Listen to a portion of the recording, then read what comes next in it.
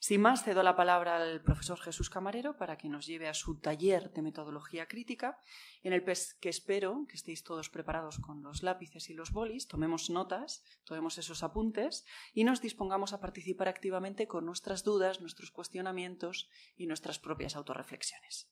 Gracias a todos por vuestra presencia, sobre todo a Jesús, y damos por inaugurado este seminario en este curso 23-24.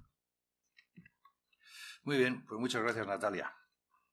Encantado de estar de nuevo aquí con vosotros, porque aunque ya no soy profesor, pues volver a estar aquí, pues da un poco de cosa, la verdad. Uno ya está desconectado y vuelve a reconectarse, pero seguro que va a ser de otra manera, porque yo estoy preparándolo me he dado cuenta de que ya no era un profesor.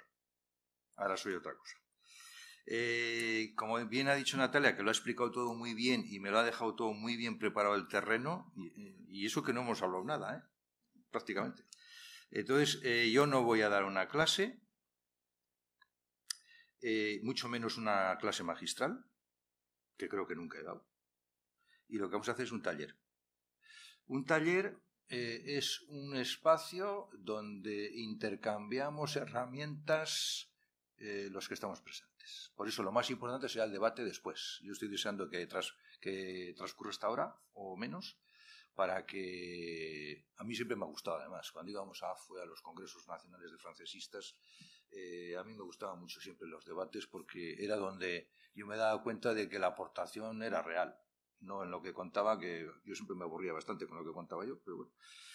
Y, y eso es mi aspiración. Uh, yo he intentado en todas las reuniones del grupo de investigación intentar eh, captar lo que allí se estaba pensando y haciendo y de acuerdo con eso he preparado una cosa que me parece que es la adecuada para la línea de investigación del grupo de investigación. Y entonces, de acuerdo con eso, eh, lo que voy a hacer es, bueno, eh, he buscado y rebuscado cosas, me he planteado cosas y las voy a exponer aquí con vosotros para ver si os sirve a vosotros todas esas propuestas, ideas, hipótesis y dudas, sobre todo muchas dudas. ¿eh? Hay algunas cosas que os voy a proponer y yo no las tengo muy claras. Os las lanzo porque he pensado en varias ocasiones en los últimos 20 días que casi lo mejor que podría ocurrir es que lo que hoy voy a presentar no le gustara a nadie o que fuera rechazado totalmente, porque eso significaría que esa persona ya tiene clara su línea de investigación. Si no es el caso, pues esperemos que algunas cosas que vamos a comentar aquí, que no son pocas, ¿eh? Eh, pues os sirvan de utilidad, ¿eh? sean útiles para vuestro trabajo investigador dentro del grupo, porque lo que he buscado es un perfil muy adecuado al espíritu del grupo, a la metodología del grupo y a las líneas definitorias del grupo. ¿Vale? Bien, vamos con la estructura de la sesión. Bueno, tres partes vamos a hacer. Eh, no, no, no, asustan, ¿eh? porque la primera son cuestiones preliminares que hablaremos, vamos a hablar un poco rápidamente de... Vamos a arrancar un poquito como si fuéramos alguien que está empezando a investigar un laboratorio, en este caso de ciencias humanas, como nosotros, y empieza desde cero y de ahí arrancamos y por eso las cuestiones preliminares. ¿eh? Que bueno, alguna cosita vamos a ver bastante potente. ¿Eh? Luego, la segunda parte es la central, la metodología, que es la sociocrítica y todo este lío, que ahí vamos a hacer propuestas y, bueno, a ver la gente eh, si mm, consigue obtener dos o tres cositas que le puedan servir para su investigación. Vamos a tratar de conseguir eso, por lo menos, ¿no? En este taller. Y al final, el ejercicio práctico, que va a ser sobre Michel Houellebecq, como yo he hablado algunas veces en el grupo, eh, Ampliación del campo de batalla del año 94, su primera novela, que, mm, bueno, luego os diré otras propuestas, ya veréis algunas propuestas que yo había pensado, pero claro, si vamos al 18, al 19 francés y tal, había cosas muy claras, ya lo veréis, pero digo, no vamos a hacer esto, ¿no? Vamos a hacer una cosa de ahora, muy evidente en el tema, en el, asunto ideológico, ¿no? Mm, y a ver si la gente se anima a leer a Houellebecq y lo ve, que eso es lo más importante. Se lee en dos horas y media la novela, tampoco es... Entonces, bueno, vamos con ello. Objetivos. Vamos con los problemitas. Esto ya lo hemos comentado alguna vez en el grupo de investigación. nuestro grupo de investigación está formado por investigadores e investigadoras de especialidades filológicas muy diversas. Esto es así, es una realidad. Y podría ser que como venimos de especialidades muy diversas, eh, podría ser que mm, utilizáramos para trabajar metodologías de investigación un poco diferentes. Podría ser. Claro, mm, entre uno de, literatura inglesa y uno de literatura clásica puede haber diferencias en la metodología de gestión, de perdón, de gestión, por favor, de investigación. ¿eh? Eh, por eso he pensado, digo, bueno, pues igual, eh, claro, tendríamos que transversalizar, buscar líneas transversales. Es decir, lo que yo voy a exponer aquí tiene que ser algo que le pueda servir a todo el mundo. A ver si eso es posible.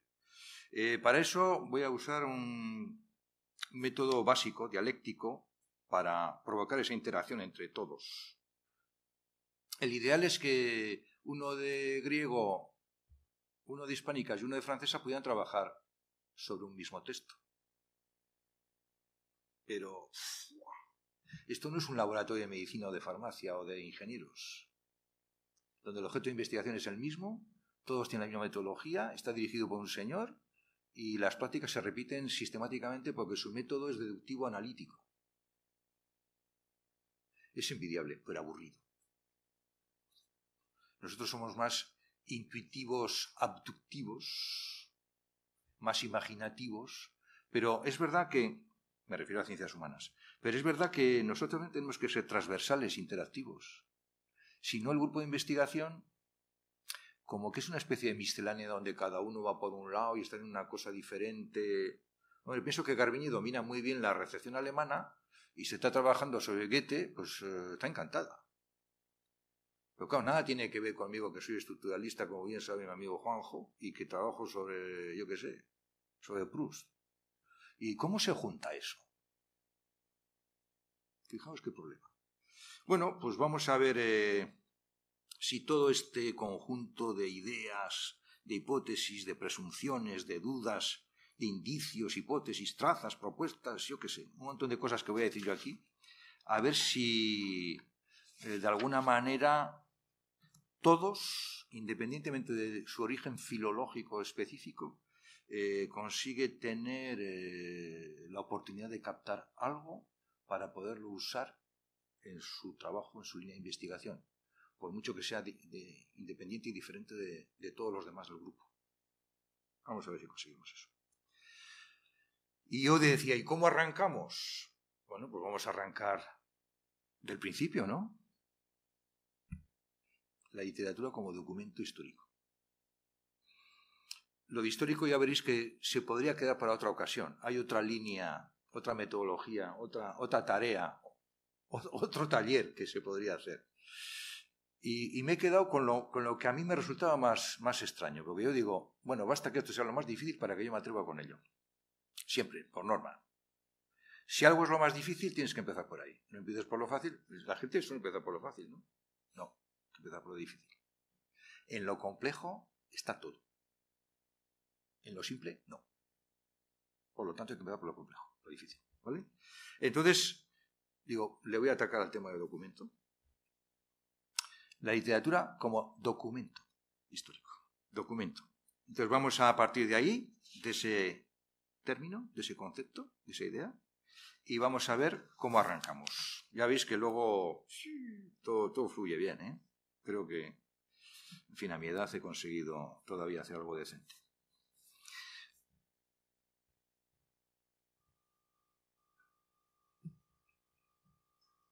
la literatura como documento histórico.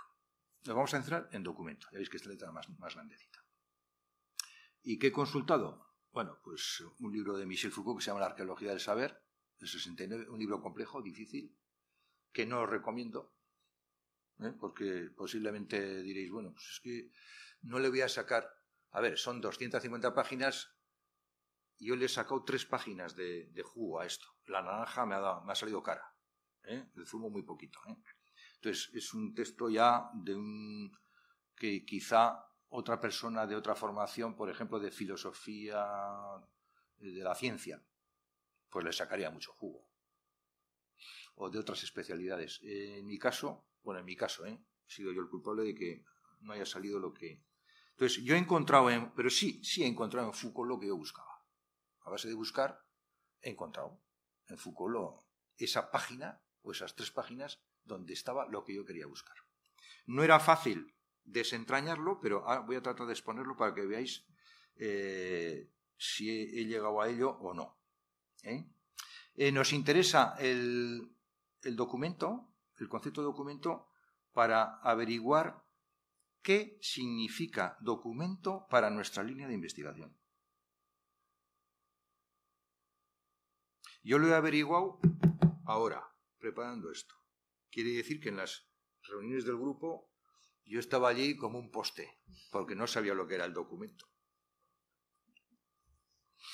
Fijaos, ¿eh? como dice Natalia, que hablaba yo mucho.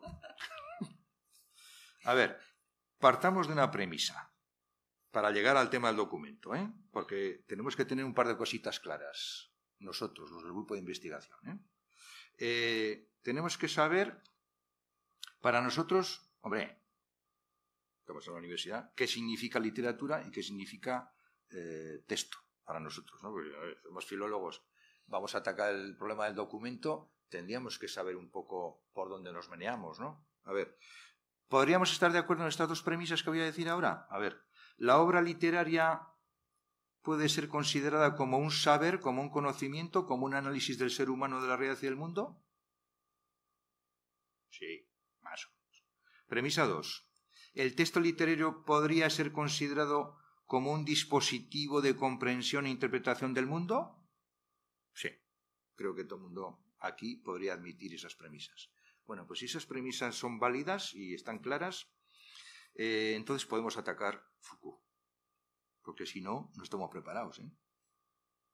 Lo tenéis ahí apuntadito. yo tengo, yo tengo otro PowerPoint diferente. ¿Qué es lo que tengo que decir? Sí está. Eh, a ver, teniendo claro esas dos premisas, Foucault dice, respecto al documento, ¿eh? que para desentrañar y explicar y saber qué es esto, en qué consiste, qué valor tiene esto del documento, debe producirse el señalamiento de un tipo de racionalidad y de sus efectos múltiples. Fijaos cómo hablan los estructuralistas franceses de los años 60. ¿eh? Cuidadito. ¿Qué quiere decir un señalamiento de un tipo de racionalidad y sus efectos múltiples? La, traducción es eh, americana también, tiene su problema. Yo no había traducido así, pero bueno el libro siglo XXI está traducido en, Argentina, pues está traducido señalamiento. En España, en España, Europa no diríamos eso. A ver, lo que quiere decir eh, Foucault es que eh, tenemos que enfocar, por ejemplo, una obra literaria, cuando pensamos en ella como si fuera un documento, como un análisis racional que proporciona una información precisa, unos datos objetivos no como una obra estética de valores formales, poéticos, líricos, no sé qué, no sé cuántos. Eh, no. Desde un punto de vista estrictamente racional y objetivo, como algo, una fuente documental, un documento que nos aporte información objetiva sobre algo. Fijaos, ¿eh? Lo que implica, claro, yo me entero, digo, ah, pues que el documento, fíjate lo que es esto, ¿eh? Ahora el texto y la obra no es lo que yo pensaba. Cuando leía, yo qué sé, a nuestro querido Pedro Salinas. No, no habla de eso, habla de otra cosa. El documento es otra cosa. ¿Vale? Y dice más, que esto es lo que más me ha gustado a mí de Foucault. Ya veis que no me gusta mucho, pero eh, se trataría de detectar la incidencia de las interrupciones en el proceso histórico. Imaginaos el proceso histórico, voy a una obra, encuentro allí un documento que es algo que me aporta una información objetiva, pero esa información objetiva que yo encuentro ahí en el documento en base a mi impulso racional, que es lo que dice Foucault, se hace sobre momentos puntuales de la historia que él llama interrupciones. Yo igual habría traducido de otra manera. Nosotros los antesistas en España habríamos traducido de otra manera. Y entonces ahí es donde está la aportación lo que nos interesa a nosotros en nuestra línea de investigación de nuestro grupo. Cuando vamos a una obra, a un texto, y con un enfoque racional, racionalista, objetivista, vemos que ese que consideramos un documento textual de una obra nos aporta una información objetiva a partir de la cual nosotros obtenemos aportaciones que nos van a llevar luego al análisis de eso que llamamos ideologías, historia, tal, no sé qué. Y que luego va a ser la tralla que vamos a traer aquí con todo lo que vamos a decir después. Entonces, aquí abajo, si resulta que nosotros en la obra literaria con esta perspectiva racionalista objetivista tenemos una percepción del documento que lo valoramos como aportador de una información objetiva que nos va a ayudar en nuestra investigación sobre la ideología de la obra y demás, resulta que ese documento histórico que estaba en nuestra línea de investigación, ¿os acordáis? La, la, literatura como documento histórico, ese documento histórico yo ahora necesito, después de haber leído a Foucault y haberme pegado una buena tralla con él, eh, necesito especificarlo un poco más documento histórico se me ha quedado un poco amplio. Las interrupciones, aportaciones puntuales, yo diría, claro, las, las, el, mm, el, documento histórico es muy general. Histórico es muy general. Puedo añadirle siempre algo político, científico, económico, distópico, etcétera, etcétera. ¿Por qué? Porque la ideología no solo se refiere a la historia, la ideología no solo se refiere a las ideas políticas, la ideología puede referirse a, todo tipo de ideas, eso está claro. Y entonces he observado, por lo que luego os voy a mostrar, que efectivamente, eh, dentro de dos diapositivas veréis por qué yo me he visto forzado a, a meter estos datos más específicos, esos adjetivos al lado de histórico, político, científico y demás, porque aparte del documento D mayúscula, que es el documento histórico, eh, tenía que añadir una microsemiótica, macrosemiótica, microsemiótica, signos mayores, signos menores, que mm, me particularizan, me precisan eh, mejor el ámbito en el que me voy a mover. Porque el ámbito en el que me voy a mover no es solo histórico. Ya veréis que luego cuando entremos en la novela de Welbeck resulta que eh, lo histórico pues es poco. Hay muchas más cosas que no son parte de un documento histórico, sino de un documento que es de otro tipo. ¿eh? Y que sigue siendo ideológico, ideología, pero que eh, no es solo histórico. Bien, método de investigación. Eh, las metodologías críticas, que es el título de este taller, son las herramientas construidas a partir de complejos teóricos, normalmente de teorías, de grandes teorías, y que nosotros utilizamos para nuestro trabajo investigador para obtener eh, la comprensión, la interpretación y poder efectuar los análisis que tenemos que hacer en nuestra investigación. ¿Vale? Ahí tenéis unas cuantas que se me han ocurrido a mí, eh, las que yo conozco y que son las que creo que podrían estar en relación con la línea de investigación. No voy a poner otras que no están en relación, claro. ¿eh? evidentemente la sociología de la literatura, de la que hablaremos, de Scarpit, por ejemplo, donde veis que está literatura más producción. La producción, luego veremos la sociología de literatura en qué se diferencia de la sociocrítica y, y veremos que la producción literaria, la producción editorial, es lo que analiza la sociología de la literatura. Pero eso no va a ser nuestro objetivo hoy. Va a ser la sociocrítica general de Lukács y Goldman, literatura, sociedad ideología, que encaja perfectamente con nuestra línea de investigación, y la sociocrítica de Monjos, eh, que es lo mismo que la sociotética general, pero claro, es que Cross aporta los ideosemas, que es un hallazgo eh, impresionante de los rasgos pertinentes ideológicos, que es que nos, es una herramienta muy precisa. Ya vamos a ver un ejemplo ¿eh? en las diapositivas, una herramienta muy precisa para, para trabajar nosotros. Luego hay otras, ¿no? La ecocrítica de Naes, la sociocrítica más la ecología, la naturaleza ambiente, la epistemocrítica de Pearsons, la literatura como saber, documento, va por documento, y la hermenéutica de Paul Ricoeur, más lejana todavía, la narratividad más temporalidad e historia, por lo de documento histórico. Fijaos que he cogido la epistemocrítica y la hermenéutica relacionadas con el documento, saber, y con el documento histórico. Serían posibles desarrollos. Las dos últimas más lejanas, en su, más complicadas en su aplicación, que bueno, irían para ver un poquito más lo que es en epistemocrítica los saberes, el documento como saber científico, y la eh, hermenéutica, eh, el texto como narratividad y expresión hermenéutica. Bien, eh, la verdad es que se podrían combinar metodologías diferentes y que mm, puede haber muchas más posibilidades. Bueno, por hoy, suficiente. El objeto de investigación. Bueno, eh, el objeto de investigación empieza eligiendo el corpus sobre el que vamos a trabajar, que es el primer desafío al que se enfrenta todo investigador. ¿no? Eso depende del criterio, la formación y el conocimiento del investigador. En cada caso será diferente. Para eso está su tutor o director o directora que le va a orientar y le va a ayudar. Perfecto. La universidad ha pensado en todo, no hay ningún problema. Eh, yo me planteaba aquí, ya veis, unos cuantos autores y corpus, ¿no? para discutir un poquito. ¿eh? ¿Vamos mal de tiempo? Bien. No veo la hora. ¿Cómo no veo la hora? A ver, eh, fijaos, podríamos haber hablado hoy aquí, en vez de hablar de Michel Houellebecq, ampliación del campo de batalla del 94, documento histórico distópico, podríamos hablar hablado de otros autores. Fijaos la elección, qué curiosa podría haber sido.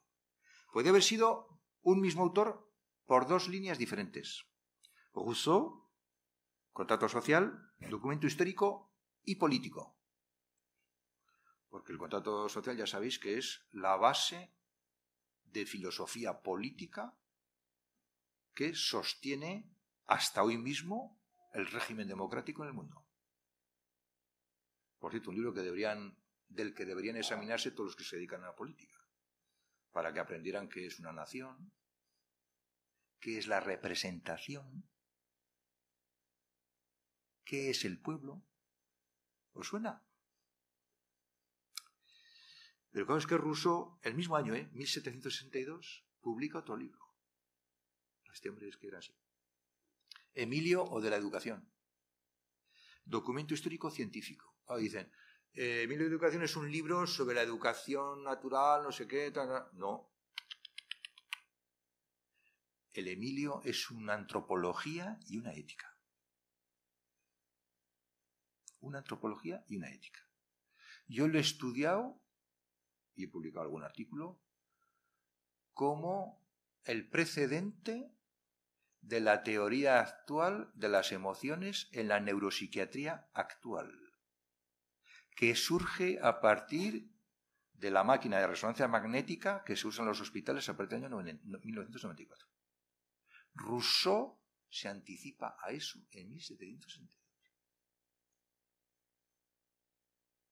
Fijaos por qué he puesto documento histórico y científico, pero no por la educación. La educación es casi lo de menos en el Emilio. Dos autores, perdón, dos obras diferentes, con dos líneas diferentes, un mismo autor.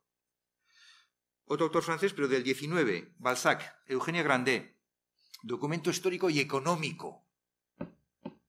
Claro, eh, Eugenia Grandet, es la historia de una solterona en provincias en Francia que eh, románticamente está enamorada de su primo, su primo se va a las colonias, creo, recordar, y no vuelve y se queda en su pueblo solterona. Claro, es la hija de un gran propietario, pero claro, es que Balzac es un autor obsesionado con el dinero, con la economía, y nos cuenta perfectamente al detalle en páginas a veces aburridísimas, en unas descripciones magistrales, Balzac es magistral en la descripción, el régimen económico político que hay en Francia con el surgimiento de la burguesía después de la Revolución y cuando el Estado constitucional francés por republicano eh, dicta la orden de que deben ser repartidas todas las tierras y propiedades del clero y de ta, entre toda la gente que pueda, que no todo el mundo podía, en Francia, y de ahí surgen los grandes propietarios franceses. Uno de los cuales es Gandhi. Economía política en Francia. Javier Cercas, un español. Es un libro que he vuelto a leer hace poco y que, Anatomía de un instante, y que me ha dejado muy preocupado. Porque, como sabéis, cuenta, a ver, es, es una, un ensayo ficción, una cosa rara. Esto de los géneros ya sabéis que no está claro ya en nuestra literatura actual. Es un ensayo ficción, es un relato sobre unos hechos históricos que se produjeron en febrero del 83, del 81, perdón, 81, eh, en España, un golpe de Estado militar. Joder, yo leyendo este libro hace dos meses o así, digo, joder, qué de puntos coincidentes con la realidad actual. ¿Qué de, no es que haya militares en este momento en España. Bueno, no voy a decir tonterías. No es que haya un enfrentamiento entre fuerzas políticas antagónicas. Bueno, no es que haya una situación de la monarquía. Bueno, es que coinciden muchas cosas. Luego pequeños detalles. Para los que vivimos esa situación, yo estaba en quinto de carrera, iba a ir a la mili en octubre, yo, joder. En vez de 13 meses, van a ser 3 años de mili. Ya verás. Yo he servido militar con esto. Como triunfe el golpe, yo fui uno de los primeros alumnos que fui a la facultad al día siguiente, a la cafetería. Estábamos 12 personas en de Valladolid, en la cafetería de Filosofía, Letras y Derecho. 12 personas. Todavía con la radio, porque no estábamos seguros de que. Bueno, fuimos a la cama a la una y media, pero leyendo este libro, documento histórico y político, total. Pero no solo del 81, de hoy también. Por eso he comentado estas anécdotas tan tontas. Miguel Delibes, Las ratas. Bueno, yo que conozco mucho Castilla, que son mis orígenes, documento histórico ecológico. Yo leyendo Las ratas, la verdad es que todo lo que leo para mí es real. Lo he visto todo. Todo. Todo. Todo. O sea, los personajes no los conozco, pero he conocido otros que podrían ser esos. Y luego lo que es la, perspectiva ecocrítica, la ecología, eh, tan especial en las ratas, tan especial. Mira, hoy que se ha hecho el acuerdo de ayer, el acuerdo para Doñana y tal, ya ha salido del IBES, ya me he acordado, eh, del IBES, eh, qué, qué, capacidad. Estamos hablando de documento, ¿eh? no olvidéis, ¿eh? venimos de documento, ¿verdad? La rata es un, documento ecológico de la Castilla profunda, radical, que tiene contacto con los santos inocentes, la otra obra, fin, con algunas otras muchas obras. La Castilla real, que es terrible, terrible. Luego, por buscar otro más raro, Dostoyevsky, Crimen y Castigo, documento histórico y psicosociológico. Bueno, ¿qué voy a decir yo de Dostoyevsky? Yo tengo la duda de cuando te preguntas esas tonterías que hacemos en literatura comparada sobre el canon, en nuestro curso, Frederick, hay una parte que es el canon literario, y a los alumnos les pasamos unos listados de canon, y a veces los alumnos se ríen y dicen, este profe, qué cosas más raras lee, ¿no? Hombre, y de bueno, ¿quién, es el mejor novelista? ¿Cervantes o Dostoyevsky? Es que leyendo Dostoyevsky uno se queda pasmado. Claro, con Cervantes también, ¿eh? por otros motivos. Pero es que Dostoyevsky, el análisis que hace del ser humano desde dentro, eso, es una perspectiva que merece una línea de investigación. Seguro, seguro. Sin embargo, bueno, todas estas son opciones que yo no he elegido y he elegido una más moderna, más actual, contemporánea, porque me ha parecido que había que hablar de algo de ahora. Y entonces me ha salido un documento histórico más distópico. ¿Por qué? porque Michel Houellebecq lo que hace es plantearnos, lo tengo escrito aquí, lo voy a leer. ¿Qué es ampliación del campo de batalla de Michel Houellebecq como documento histórico? Un documento de nuestros días en el que se reflejan una serie de problemas sociales, políticos y económicos de nuestra época, donde el lector va a constatar una ideología, una ideología del desestimiento, de la soledad, del nihilismo, del hartazgo ante una sociedad que no ha conseguido colmar las expectativas de un ser humano desquiciado. Un auténtico balance de la decadencia de una sociedad anclada en una deriva crítica. Luego veréis por qué he dicho esto, que suena un poco así ampuloso, tal, por lo que vamos a hablar de Lukács y de la ideología y demás. Es un sociograma de la Francia posmoderna Por eso lo he elegido, porque me parecía que era aparte de que es el género que siempre es un poco l'enfant terrible, un poco epatón, un poco gamberro, eh, provocador, divertido, muy triste, pero muy divertido. Merece la pena leerlo porque es un autor contemporáneo que retrata una sociedad en una situación catastrófica. Y entonces eso lo hace muy interesante. Vamos con la segunda parte. Empezamos ya. Sociocrítica general.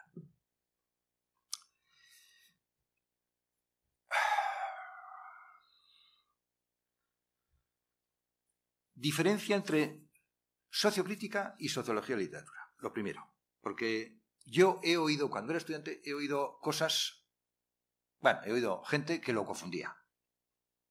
Podría citar ejemplos más gordos de errores docentes o investigadores, pero bueno, este es uno. La sociología de literatura. El especialista que yo más conozco en sociología de literatura es Robert Escarpit, profesor de la Universidad de Bordeos, no sé si vive todavía porque era ya mayor, eh, que hizo un libro que se llama Sociología y Literatura, que yo me lo compré y digo, coño, esto es la sociología. Y no, no era. En fin. ¿Qué es la sociología y literatura? ¿En qué consiste? Es el análisis empírico, yo diría estadístico, fijaos, del origen, de la edad y de los recursos de los escritores y el análisis de la producción de libros, su distribución, el éxito de ventas y el consumo. Fijaos lo que es la sociología de la literatura en la línea de Scarpit, que es la que yo conozco. ¿eh? Puede haber otras, sin duda, pero esa es así. Un ejemplo. Eh, hace poco, el, mes pasado, en octubre, el Festival de Novela Negra y Policíaca Negra Stays, eh, que contó con la presencia del escritor que más libros vende en España, Juan Gómez Jurado, la trilogía Reina Roja. Acaba de sacar ahora mismo este mes Todo vuelve. Pues yo tuve la ocasión de estar con él, hablar con él, incluso cenar con él. Eh, yo estuve allí con más de 500 personas del público, que eran fans, no eran lectores, eran fans. Habían leído todos sus libros, lo adoraban. Nada más verlo se derretían. Publica thriller, que es el género que más vende. El público está con él a muerte. Compra de inmediato todos sus libros. Y su beneficio anual después de impuestos es de más de un millón de euros. Sociología de la literatura. Un ejemplo vivo. Al preparar esto me, acordé de él y digo, mira, tengo un ejemplo vivo de qué es la sociología de la literatura producir libros, vender libros, tener lectores, pero no porque ah, para que hablen contigo de tu obra, no, para que te sigan comprando libros. Porque lo que se trata es de vender libros. Eso es lo que analiza Scarpit. Eh, ¿Cuáles eh, las características sociológicas del escritor? En este caso está muy claro. Un tipo de Madrid, periodista, con una formación muy inteligente. En la cena tuvimos ocasión de estar dos horas hablando y yo pensaba que iba a ser más superficial, la verdad que estuvo a la altura el hombre. Porque, en fin, lo que escribe... ¿Habéis leído? No. Ya. Me habría sorprendido que alguien hubiera leído en una aula universitaria. En la universidad no se le lee. Claro, es una fama de leer solo los clásicos.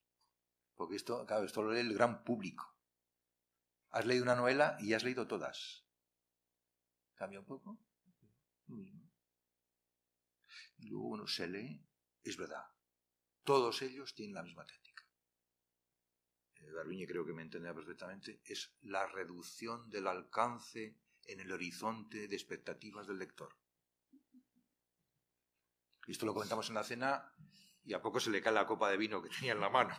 dice, ¿y de verdad Jesús que esto es lo que hago yo? ¿Este es esto? Bueno, más o menos sí. Esta es tu patología. Pero lo haces tan bien que la gente, cuando lee 15 páginas y no puede dejarlo, dice, este libro es bueno. Hombre, es verdad, desde el punto de vista narratológico, es impecable.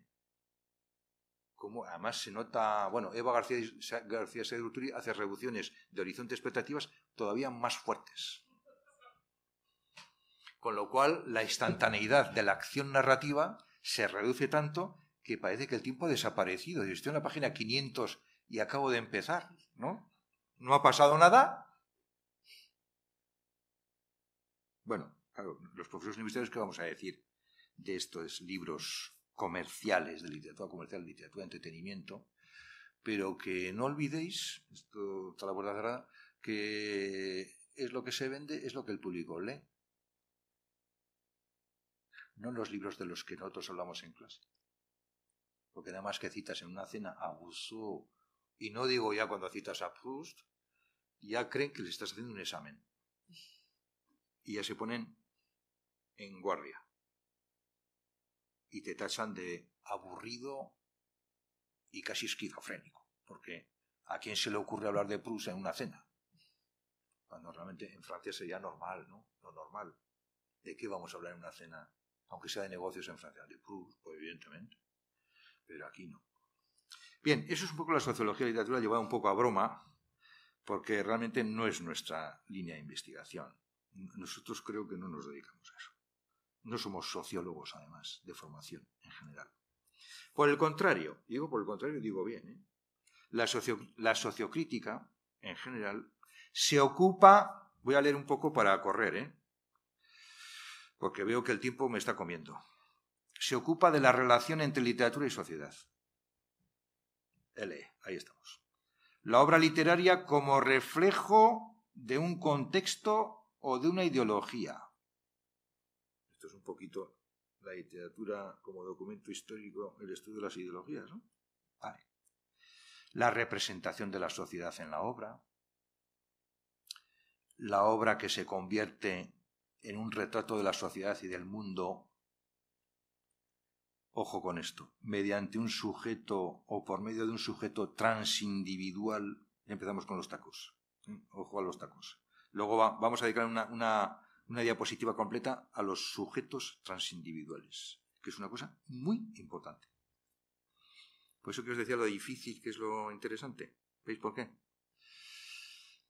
La colectividad, la gente, grupos sociales, la sociedad, el mundo, genera un discurso en el que se inscriben microsemióticas específicas. Es decir, en las sociedades, los grupos, se habla, se dice, se hacen cosas que son signos, todos ellos, captados por el escritor, y eso se convierte en ideosemas. Esto es de Edmond Cross, el ideosema. El ideosema es eso que se está haciendo, diciendo, pensando en la sociedad tal, a nivel ideológico, a nivel de conjunto de ideas, y que el, escritor dice, uy, ojo, esto es interesante. me lo cojo y voy a construir una historia con eso. Luego vamos a ver cómo la estructura de la obra, en cuanto a los ideosemas, repercute o representa o equivale a la estructura de la realidad. ¿Por qué? Porque hay una correspondencia, el autor está dentro, el escritor está dentro de la sociedad, se da cuenta porque es muy sensible, muy intuitivo, se da cuenta de las cosas que ocurren y dice, uy, tate, aquí está pasando algo. ¿Qué es lo que le ha pasado a Michel Houellebecq en Francia, en París, que se ha dado cuenta de cosas que yo, sí, yo cuando iba a París me daba cuenta de que había algunos ejecutivos histéricos por la calle, en el metro y tal, pero bueno, será, yo qué sé. ¿No?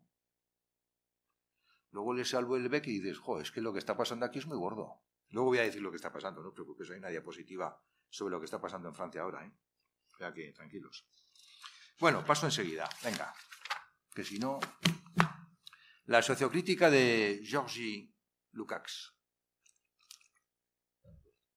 Si hablamos de sociocrítica, tenemos que hablar de este teórico, filósofo, más bien filósofo húngaro, que es el que ha hecho la mayor aportación a la sociocrítica en todos los tiempos y que del que vienen todas las ideas posteriores, incluido Moncross, incluido Henri Salamansky, del que vamos a hablar también, y otros muchos. ¿eh?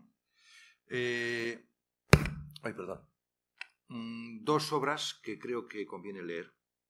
Teoría de la novela sobre todo la última parte en la que habla de las tipologías narrativas novelescas que hay, eh, vamos a aludir a ello luego, eh, hace una definición, joder, que está muy bien, está muy bien, es conquistadora esa definición. Y luego, a mí me gusta mucho ensayar sobre el realismo porque son unos artículos, unos ensayos muy, muy bien hechos sobre algunos autores concretos. Algunos de los franceses, como Paul Balzac.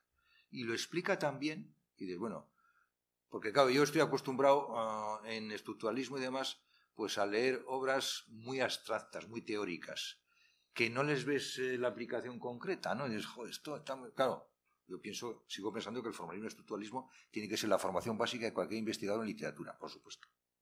Porque si no, no tenemos disciplina y no tenemos asideros para trabajar, ¿no?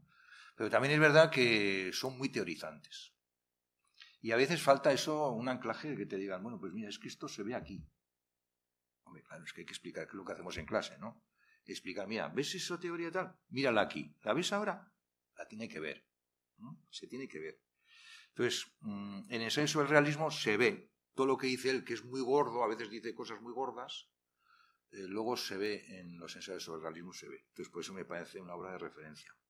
Eh, como decía antes, Lukács no está considerado tanto un teórico de literatura como un filósofo. Esto lo hemos explicado, bueno, lo he explicado yo en el curso de, máster, pero bueno, eh, para mí es diferente teoría de literatura que filosofía de literatura. La teoría de literatura, vamos a hacer un poquito ampliación de máster. Una, un paréntesis. ¿eh? La teoría de literatura, la historia de literatura la crítica literaria y la literatura comparada conforman la ciencia literaria. ¿Ok? Bien. Entonces, un ejemplo. Si yo tengo un relato, una novela, un cuento, lo que sea, eso lo puedo enfocar, el análisis, estudio, la investigación, desde la historia literaria. Y estoy usando una parte de la ciencia literaria. Si luego quiero seguir estudiando eso, y ya la historia literaria no me da más de sí, tengo que pasar a otras disciplinas. Por ejemplo, a la crítica literaria y a la teoría literaria. Y entonces estoy trabajando ya en la narratología. La narratología, bien como teoría, bien como análisis o comentario de texto en la crítica. Y luego, en la literatura comparada, por expansión universal a todo el ámbito de la literatura de todo el mundo, en toda época, en todo lugar, en todas las culturas y lenguas, pues puedo usar la historia literaria, como bien dice Jorge, eh, Claudio Guillén, eh, la historia literaria, la teoría literaria y la crítica literaria a nivel universal, transversal y relacional. Porque la literatura comparada es relación. ¿Vale? Y entonces decimos, bueno, pues ya está, ya hemos llegado, ya los investigadores en literatura no podemos avanzar más. Ya, hemos usado todas las herramientas y todas las líneas de trabajo que tenemos. No. Podemos ir más lejos. Porque hay un señor que se llama Paul Ricoeur que ha inventado una cosa que Aurora conocerá bien, que es la narratividad. Después del relato, literaria, de la narratología, teoría, crítica literaria literatura comparada, viene la narratividad, la filosofía de la literatura. ¿Podemos ir más lejos? en la ciencia, expandir el horizonte o el ámbito de la ciencia literaria y añadir un nuevo dominio, que sería la filosofía de la literatura, en la que, por ejemplo, Paul Ricoeur, cuando se refiere al ejemplo que estoy hablando yo del relato de, y la narratología, añade un ámbito enorme que es la narratividad, que incluye no solo la literatura, sino la historia, el derecho y yo qué sé qué más cosas. La religión, posiblemente. Y que se, basa en el concepto de que el hombre es un homo narrans, es un ente narrador, que tiene inherentemente en su ser la capacidad de narrar. Es más, que a través del rato es como adquiere sentido todo, la existencia, la identidad, todo, todo. Fijaos hasta dónde se puede llegar.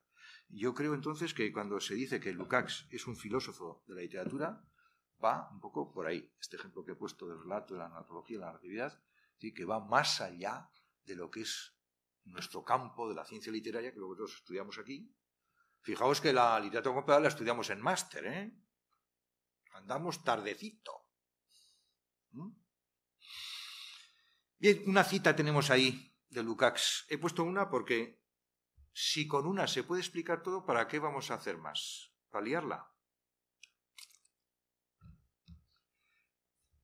¿Qué es la sociocrítica? Las obras en la desde el enfoque sociocrítico, las obras literarias son el reflejo de las grandes etapas de la evolución humana y sirven de guía a la humanidad en su combate ideológico. Yo con esta cita me quedo tan pancho. Digo, pues esto me encaja muy bien en nuestra línea de investigación del grupo. Las grandes etapas de la evolución humana, hombre, pues ¿qué son? Esas análisis racionales y esas interrupciones, momentos puntuales de Foucault. Eso es. Eso es. Eh, esos momentos puntuales en los que el autor se fija, el escritor, y de ahí construye su obra, transmitiendo esa ideología, construyendo esa ideología, devolviendo a la, sociedad, al lector, en su obra. Aquello que además va a definir la estructura del texto, va a determinar qué es lo que se compone ahí, y que luego va a revertir al lector, a la sociedad. Él capta una ideología de la sociedad, la recompone en una estructura literaria en una obra y la devuelve a la sociedad compuesta de esa manera. Fijaos el círculo de esta, eh, digamos, eh, semiótica ideológica a la que se refiere Lukács. Bien, avanzamos. ¿Cómo vamos de hora, Natalia? Que no veo aquí el reloj. Si no he llegado ni a la mitad. Madre mía. Bueno, pues voy a, voy a correr un poquito porque, a ver, uf, imposible esto. Por Dios.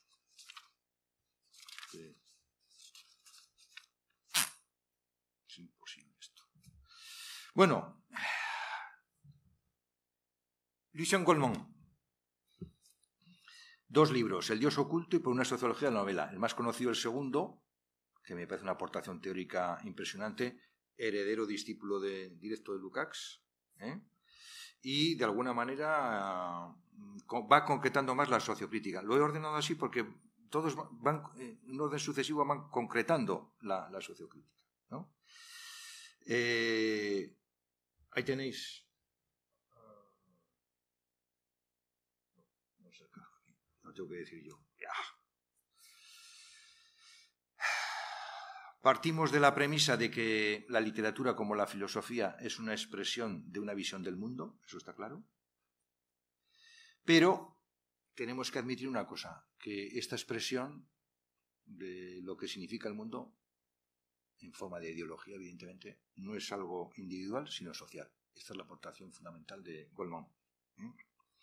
Eh, por eso se llama una sociología de la creación, porque es el autor, el escritor, el que observa intuye lo que ocurre ahí en la sociedad y entonces, eh, bueno, pues eh, hace una creación individual. Pero ojo, esa creación individual está eh, sometida a un proceso de consenso con todos los elementos determinantes del grupo social y entonces a partir de ahí se construye una cosa colectiva. Porque si no, no se puede transmitir, porque si no la obra no va a funcionar con los lectores. Estoy intentando resumir un poco y ya lo lamento, porque esto, claro, veo que cada ficha son 10 minutos o más y no nos va a dar tiempo absolutamente a nada. No, sé, no, he, calibrado yo bien esto. Eh, esta idea de que la estructura de la realidad se corresponde de alguna manera con la estructura de la obra, ya que la obra es el reflejo de la sociedad y ya que el autor está, está construyendo una ideología en la obra que se corresponde con la ideología de la realidad o de la sociedad, coincide con la teoría de Yuri M. Lotman de estructura del texto artístico en la metodología de la semiótica de la cultura de la escuela de Tartu, que conoceréis. ¿eh? Fijaos lo que dice eh, Lotman y que es prácticamente lo mismo que dice eh, Goldman, Salamansky y Lukács. En el proceso de desarrollo histórico de toda sociedad elabora determinadas formas de organización sociopolítica. La obra de arte como un espacio en cierto modo delimitado que reproduce en su finitud un objeto infinito el mundo exterior respecto de la obra. La estructura del espacio del texto se convierte en modelo de la estructura del espacio del universo. Fijaos como desde la semiótica de la cultura la correspondencia con la sociocrítica es absolutamente clarísima. Cross, dos libros fundamentales, Literatura, Ideología y Sociedad y la Sociocrítica, separados por 20 años nada menos. Mm, me interesa a mí más el primero que el segundo. El segundo es una recensión muy comentada, muy trabajada, pero menos accesible. ¿eh? Ahí tenéis, aquí sí, dos citas. ¿eh? Una concepción ideológica del hecho literario que debería servirnos precisamente para desempeñar la naturaleza la función de la literatura en nuestras sociedades.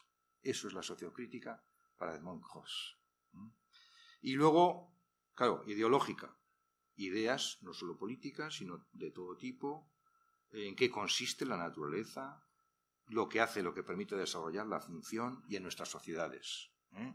Veis que sigue un poco el mismo esquema de, Goldman anterior y de Lukács anterior, pero él, mm, digamos que lo lleva, digamos, a, a una concreción mayor, que es la sociología de los contenidos, para la que la obra literaria es un documento histórico. Fijaos, aparece nuestro ¿eh? el sintagma de nuestra enunciación, del descriptor de nuestra línea de investigación, de la realidad que ofrece la sociología de los contenidos para la que la obra literaria es un documento histórico que ofrece testimonios directos sobre la realidad de las sociedades implicadas.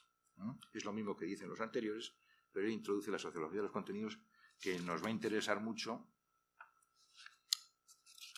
Va a tener que saltar alguna, alguna diapositiva, ¿eh? porque si no, no vamos a llegar a, a ver, el documento histórico está en nuestra línea de investigación. Ya lo hemos definido un poco lo que es el documento. No vamos a entrar en la dimensión histórica, eso correspondería quizá a otro taller, ¿verdad? Los testimonios directos eh, son esas interrupciones de Foucault, otra vez de nuevo. ¿eh? La realidad de las sociedades implicadas es esa interacción que se produce entre la obra y la realidad, entre la realidad y la obra. ¿eh? Seguimos ahí en lo mismo. Ahí es cuando yo me doy cuenta de que la obra, la selección que he hecho yo de la obra de Houellebecq es correcta, porque veo que la correspondencia que hay entre lo que cuenta Houellebecq en sus historias, en su novela, Ampliación del campo de batalla, y lo que yo observo en Francia cuando voy, allí a la realidad coincide bastante. ¿Eh? Yo lo veo. A ver, igual me salto lo de los transindividuales, que nos llevaría igual media hora.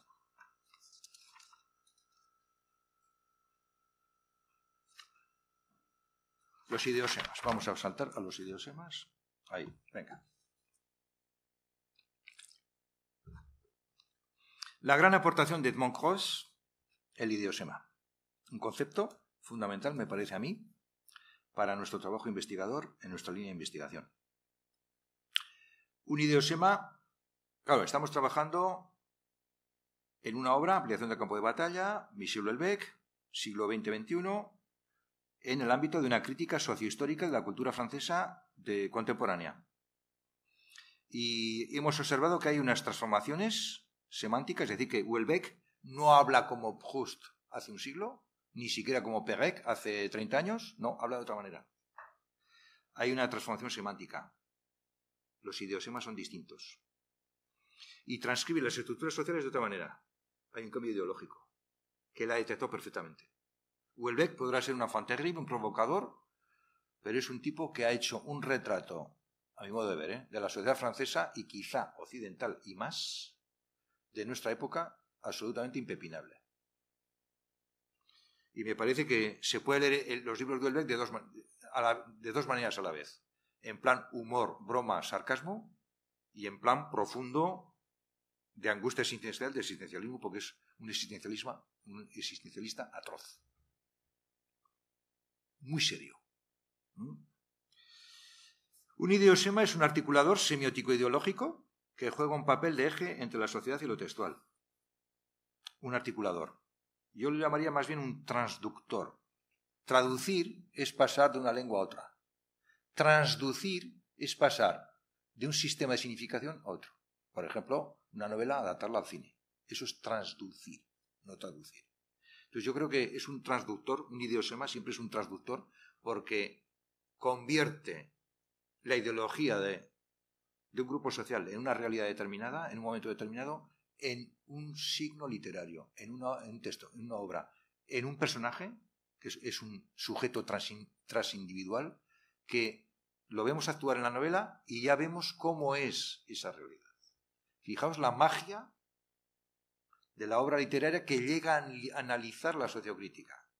Un personaje héroe o antihéroe, da igual, que actúa y dice y hace unas cosas a través de las cuales, en esa transducción que nosotros inteligimos mediante el idiosema, nos permite ver qué es, en qué consiste esa sociedad que está de esa manera determinada. En este caso, evidentemente, eh, hablamos de distopía, es decir, de una situación mala, decadente, hablamos de decadentismo, etcétera, Bien, un idiosema perteneciente a una práctica ideológica es todo fenómeno textual que produce ese efecto. Es decir, que el idiosema se produce como consecuencia del acto que el lector realiza en el texto y por el cual se da cuenta de que ese personaje está transduciendo una ideología que viene de algún sitio, una sociedad que ya se sabe cuál es. En el caso de Welbeck, París y cierto ambiente que es el mayoritario y principal en este momento, que es el de los ambientes tecnológicos, eh, comerciales, empresariales, donde está la economía, la industria y la política actual, y qué es lo que arrastra este mundo hacia no sabemos dónde. Que también eso, ahí Welbeck nos hace un diagnóstico bastante distópico, en el sentido de que las cosas no van muy bien. Bueno, yo conozco, de hecho, un ambiente en España de unos ejecutivos de altos ejecutivos de empresa cuya conversación entre ellos consiste, bueno, ¿y para cuándo te va a dar el infarto cerebral? Pues hombre, espero que no antes de los 40. El que estaba hablando el otro le ha dado a los 40. Pues claro, eh, la productividad exige unos niveles de entrega, de trabajo, de esfuerzo que acaba con las personas. Todas las personas están destruidas. Imaginemos una persona joven de 40 años con un infarto cerebral debido al estrés y a la acumulación de trabajo.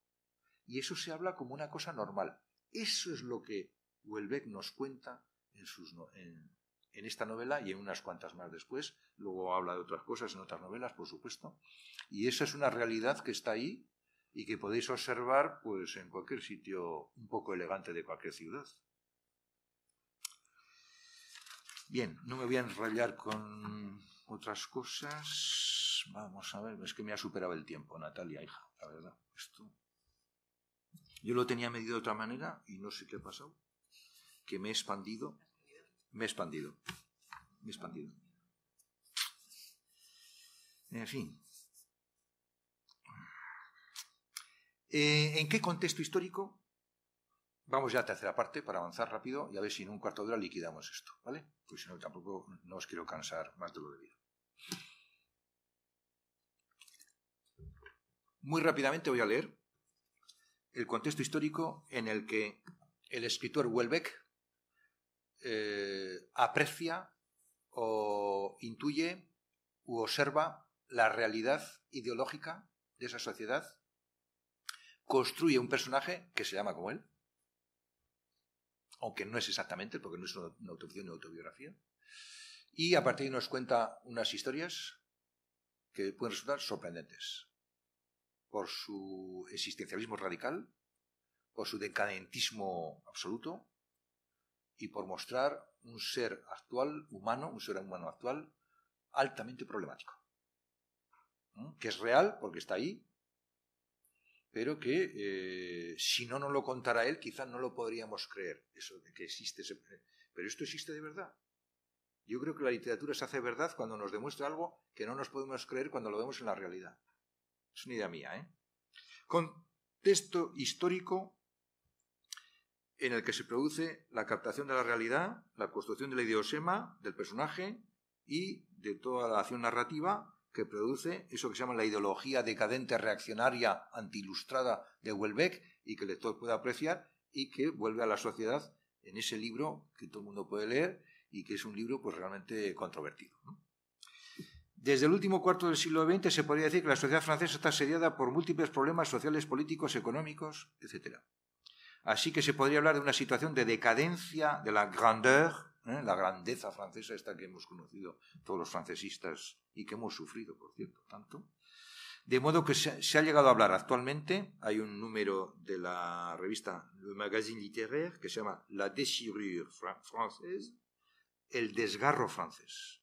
El desgarro francés es la ruptura que se produce respecto a esa esa grandeza anterior francesa, y el advenimiento de movimientos reaccionarios tipo anti-ilustración, que existe en Francia y que tiene distintos autores, filósofos, eh, artistas, escritores, políticos, de todo. Ahí tenéis en filosofía Michel Onfray y ahí tenéis eh, Le Pen en política. Está bastante claro. Después de la presidencia, esto ya un poco comentario mío personal de mi observación, que viajo a Francia desde el año 77, entonces, bueno, algo puedo decir. ¿eh? Después de la presidencia de François Mitterrand, donde había moquetas hasta en los trenes, gordas, y en España no os digo cómo estaban los trenes por la noche, el que viajaba a París, que se cogía aquí a las 12 de la noche en Vitoria. Se podría decir que la política interior de Francia ha degenerado en una gestión desacertada que nadie se explica, ya que Francia, en teoría, sigue siendo un país muy rico. Yo lo he observado. Francia es un país, o era un país, muy rico. Muy rico. Yo cuando iba al principio a Francia pensaba que España era un país del tercer mundo. Porque cuando llegaba, yo he trabajado mucho en el campo, he estado en París, en muchos sitios, en ciudades y demás, y a mí me parecía un país extraordinariamente rico, comparado con España. Hace dos años fuimos un equipo de profesores de aquí de la facultad a Burdeos, a la Universidad Michel de Montaña, Bordeaux, y cuando vimos a España decíamos, joder, si nosotros, el país desarrollado somos nosotros. Vista la decadencia de aquella universidad cuando estuvimos en ella. Y obviamente para mí cayó un paradigma, se cayó un mundo, se cayó una imagen que yo tenía de Francia, sinceramente. Bueno, los franceses cuando vienen aquí también lo dicen. Pues vaya hospitales que tienen ustedes, vaya carreteras que tienen ustedes, vaya universidades que tienen ustedes. Ellos, piensan, con el dinero nuestro, claro. Pero nosotros no estamos mal. Francia es la que. En el exterior, la cultura francesa ya no representa un modelo. No es una referencia en el mundo. París ya no es la capital del mundo, el centro se ha desplazado a Nueva York, evidentemente, y el referente en Europa es Alemania, no Francia. La inmigración masiva ha producido un proceso de guetización multiculturalismo radicalizado, de modo que los barrios periféricos, lo que se llaman las banlieues, suponen un foco de conflicto permanente. Todos los fines de semana, multitud de coches incendiados, por ejemplo. El islamismo se ha convertido en la primera religión de Francia. El 10% de la población es inmigrante árabe, siendo la población judía importante también. En Francia el consumo de psicofármacos es muy elevado. Por cierto, en España también. La lengua francesa y su literatura ya no son un referente, mm, todos lo sentimos mucho los francesistas, ya que la coiné internacional es el inglés, incluso en el nivel cultural. Este es un poco el, el contexto histórico. Fijaos, Edmond Cross pone un ejemplo del traje académico en la universidad. lo pongo porque mm, dice, hay una diferencia entre la forma sémica signo y la sustancia significante sentido, de manera que en el traje eh, académico de la universidad, la muceta y el birrete, por ejemplo, en nuestro caso son de color azul cielo, cada especialidad tiene un color diferente, como sabéis, y sin embargo del otro lado está la toga, que todos vestimos o visten igual, de color negro, y que transcribe un contenido ideológico y que está reservado en la terminología de Althusser para los representantes de los aparatos ideológicos del Estado. Los jueces también van de negro, llevan las mangas parecidas, aunque no llevan muceta y birrete, llevan otra cosa, eh, llevan medallas, nosotros no, pero fijaos cómo eh, Edmond Cross, eh, para explicar cómo se produce eso del personaje como categoría textual, cómo el personaje construido por el escritor representa la realidad observada por el escritor, y cómo transduce la ideología de, la sociedad o del grupo a la obra y construye esa ideología o la reconstruye para reenviarla de nuevo a los lectores, fijaos qué ejemplo pone. Yo debajo he puesto, digo, bueno, pues siguiendo este esquema, ¿eh? Eh, Michel Houellebecq también observaría los personajes de la vida real, realismo, en la sociedad francesa actual, con toda la complejidad de la sociedad avanzada, con una diversidad de actantes de personajes tremenda, pero construye un personaje que resume todo eso, que lleva ese mensaje ideológico y así eh, construye a la derecha eh, su novela Ampliación del campo de batalla, con unos personajes determinados, sobre todo el personaje principal protagonista, con unas características muy, muy especiales, incluso raras, que nos puede parecer a los lectores, pero que si luego vais a la realidad, entonces las entendéis, las captáis. Es como si vas por la calle y no ves determinados comportamientos. Sin embargo, lees una novela y de nuevo vuelves a la calle y dices, ahora sí que veo esa gente que antes no veía. A mí me pasa, ¿eh? No, de hecho, escribo a veces cosas y luego cuando calle digo, es verdad, esto que me, que me he inventado existe. Esto puede parecer increíble, pero es verdad, ¿eh? Corro un poquito porque si no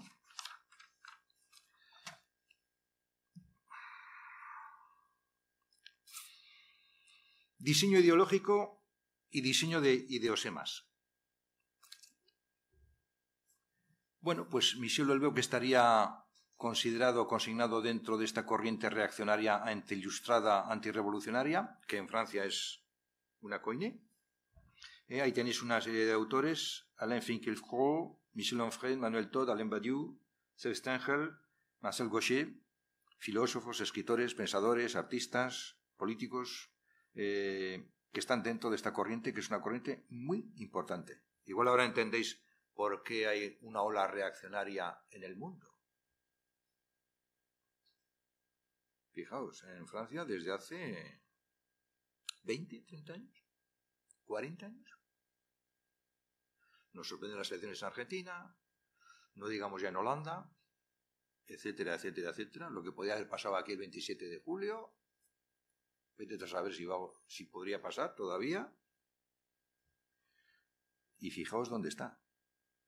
Si leéis a Welbeck, veréis eh, detalles pequeños, raros, increíbles, de cómo está esa sociedad por dentro. Claro, ver una sociedad por dentro, eh, tú ves la sociedad aparentemente por fuera. ¿Cómo se ve por dentro? En una obra literaria. ¿Mm? ¿De acuerdo? Eh, yo he detectado en la novelística, no solo en esta novela, Ampliación del campo de batalla, sino en la novelística completa de Welbeck, los siguientes rasgos pertinentes ideológicos. ¿Eh? ¿Están ahí? Sí. Ucronismo, negación de la temporalidad, existencialismo, por supuesto, angustia existencial límite, no mundo, negación de la realidad, es curioso, vuelve como el, protagonista de la novela no, no parece estar en el mundo. Criticismo, crítica, en el sentido de crítica sistemática a la realidad. Materialismo, consumismo, por supuesto, la sociedad así lo exige. Racismo, concretamente a los árabes. Nihilismo, como no, negación de ciertos principios, no es el nihilismo clásico, negación de todo principio filosófico, ideológico, político. No, eh, es, un nihilismo pragmático. Niega ciertas cosas concretas de una manera sorprendente. Luego resulta que va a misa del gallo el día Nochebuena. ¿Este tío? Claro, es que no es un nihilismo sistemático, sistémico. ¿eh? Erotismo, vamos a dedicarle una fichita a eso. Decadentismo, sobre todo al final con la comunidad es el decadentismo, ¿eh? Eh, la degradación primero del ser humano y de la sociedad en su conjunto. ¿eh? En cuanto a los ideosemas, bueno, como yo ya dije en el grupo, estoy trabajando sobre toda la obra completa de Welbeck, en un libro que no sé si llegaré a hacer o terminar, no sé, ya veremos. Porque cuando uno no trabaja, pues no es dueño de su destino. O sea, entonces, eh, yo he visto, sí, sí tengo claro un montón de ideosemas que he localizado leyendo todos los libros de Welbeck. Y, he hecho una gradación, una especie de gradación. Es provisional esto, esto es una duda, esto es una hipótesis ¿eh? investigadora indiferencia, individualismo, cientificismo, incomunicación, desorientación, extrañamiento, olvido, cansancio, pesimismo, soledad, desamor, malestar, violencia, muerte, vacío, desidentidad, fracaso, sin sentido, absurdo. me diréis, bueno, es que todos son unos tacos, unos términos, unos conceptos brutales, negativos, términos distópicos. Bueno, yo es lo que he visto en Welbeck. Amor sí aparece en determinado momento, pero claro, es que justo tiene una novia que está enamorada de ella y sufre un atentado terrorista en los baños de un bar en París. Es que... Chico, qué mal. Claro, todo el resto de la novelística de su obra, bueno, eh,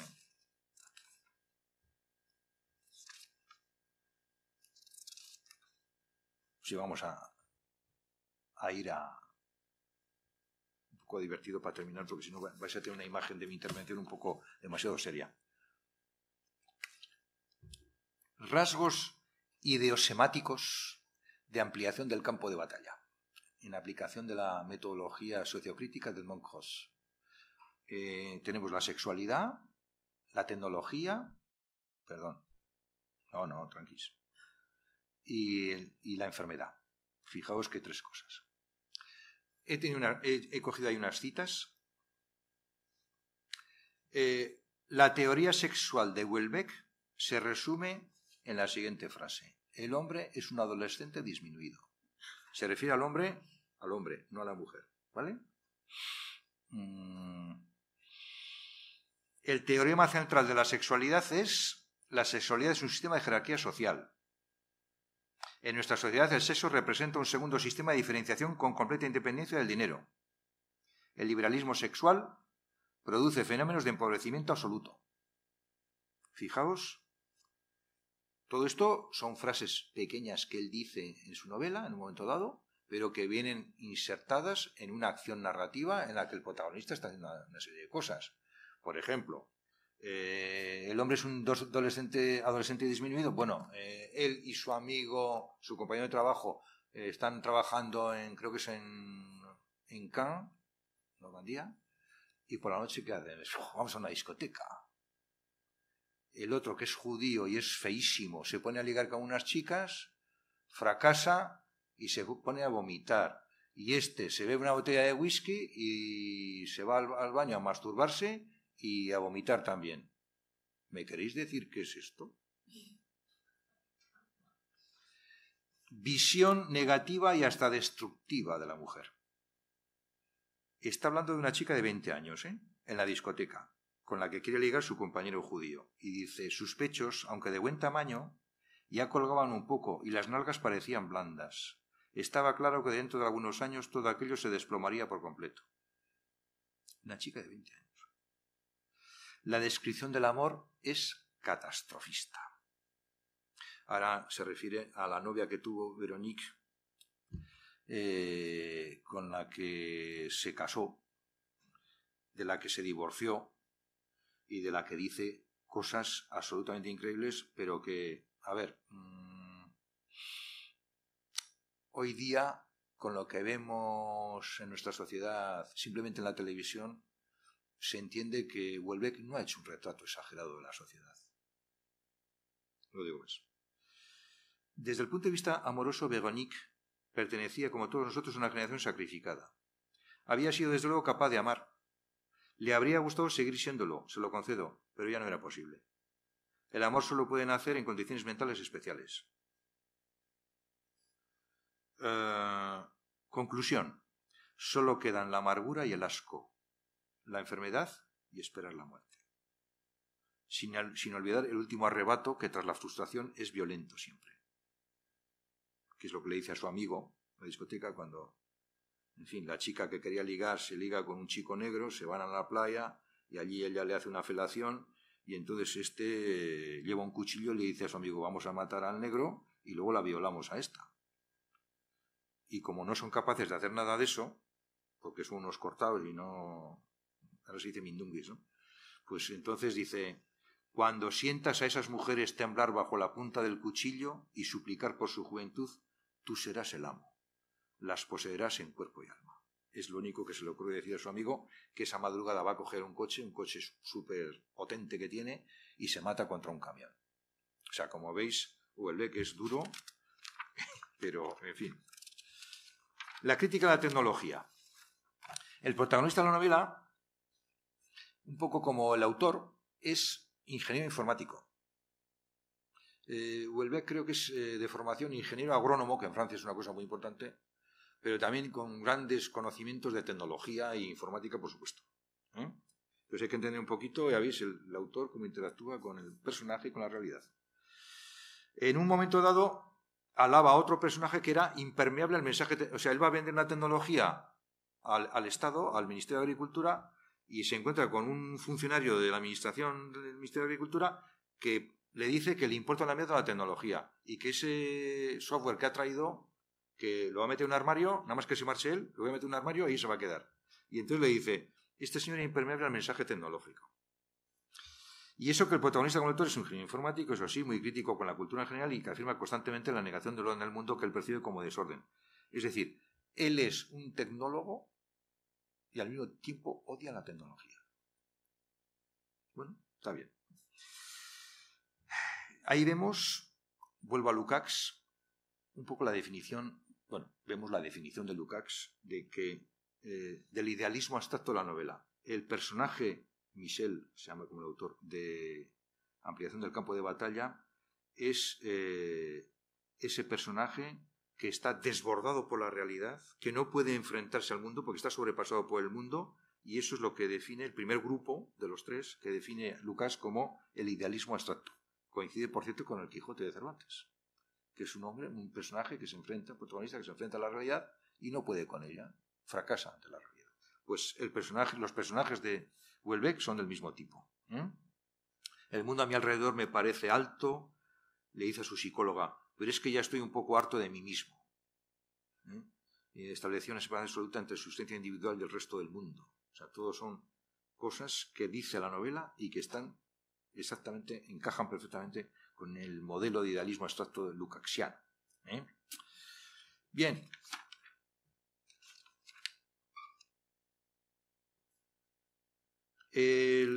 la definición de angustia existencial quizá es el resumen un poco de lo que es la ideología y el idiosema de Welbeck. Después de todo esto que hemos dicho, me habría gustado decir más cosas, pero la verdad que el tiempo me ha desbordado y bueno, mm, para otra ocasión será.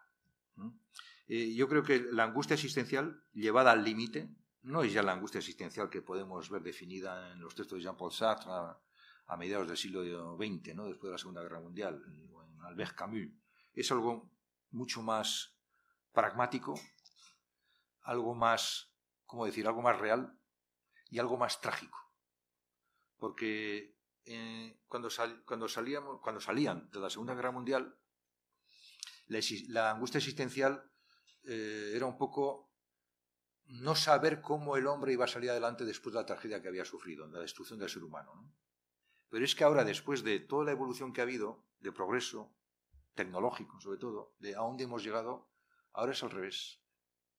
Ahora es la angustia existencial porque no sabemos qué deriva a tener el ser humano en, una decadencia, en una degradación sistemática que se está produciendo no solo por la tecnología, sino por un montón de cosas que están produciéndose en la sociedad y que la literatura ya las tiene desde el año 94 o antes, otros autores ya están representadas y escenificadas en la, en la, en la narrativa, en la literatura. Fijaos que dice, si hablamos un poco de humanismo y de angustia existencial, dice, eh, cuando se encuentra en un bosque al final de la novela, dice, bueno, coge una bici, se va por ahí a un bosque, un parque natural, en medio de la naturaleza tranquila, y dice, se está bien, se puede ser feliz, no hay hombres. Aquí parece que algo es posible. Pero luego añade, y de pronto todo desaparece. Todo lo que podría haber sido fuente de participación, de placer, de inocente armonía sensorial, se ha convertido en fuente de dolor y sufrimiento. Bueno, pues nada, lamento no haber podido hablar de todo lo que tenía para hablar, pero bueno, esto es un poquito estas propuestas, intuiciones, hipótesis y dudas sobre la sociocrítica y un posible camino para avanzar en las líneas de investigación de nuestro grupo, de toda la gente. Y bueno, eh, igual el documento lo podemos grabar o copiar para que lo tengáis completo y podéis utilizarlo cada uno como, como les sea más útil. ¿vale? Pues muchas gracias.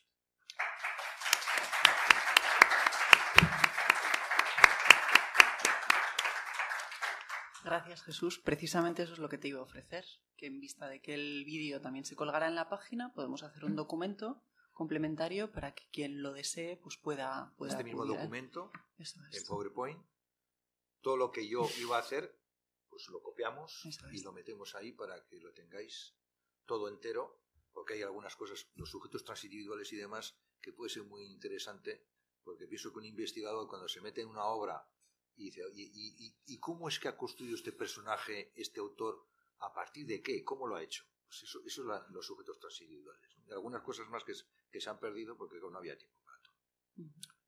O sea que si tenéis alguna pregunta, alguna duda, algún comentario, pues encantado de, sin tener que alargar mucho esto. Bueno, como podéis comprobar, nada de, como ha dicho antes, de que en las reuniones del grupo era un poste que estorbaba. En absoluto, creo que es lo contrario, precisamente a un poste, a la definición de un poste. Así que abrimos un turno de preguntas, de cuestiones.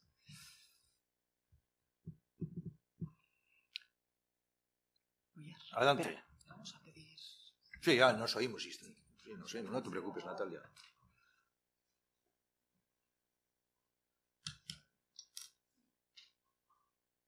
Luego, bueno, como esto va a estar eh, colgado en, ahí en la página, pues cualquier pregunta o cuestión, pues a través del, del correo electrónico se puede seguir preguntando.